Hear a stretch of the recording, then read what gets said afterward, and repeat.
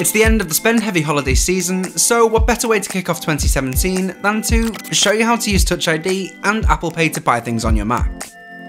Okay, so it's not our best timed how to guide from the point of view of your bank account, but it's a pretty nifty feature that we think is worth talking about. So, how do you do it? Well, let me show you.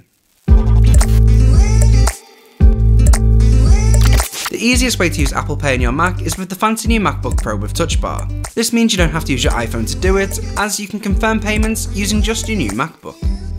However, if like me, you're using the older MacBook Pro, that's no problem either. To start with, you'll need to activate the feature using your iPhone or iPad. To do this, go to that device and tap on Settings and then Wallet and Apple Pay. Then turn on the Allow Payments on my Mac option. Remember that in order to do this, you'll have to have both your Mac and iOS mobile device using the same iCloud account. You'll also have to make sure you've got Bluetooth switched on. After this, you can go to your Mac and start shopping. Apple Pay is only available on certain participating websites, although with upwards of 200,000 sites accepting it, you shouldn't struggle to find one offering the products you want on Apple's mobile payment service. This only works on Safari, so unfortunately, if you're a Google Chrome user or even a Firefox user, you'll have to temporarily revert to Apple's browser to use Apple Pay. To make your payment, you just add items to your basket as usual and then select the Pay with Apple Pay button. Simple, right?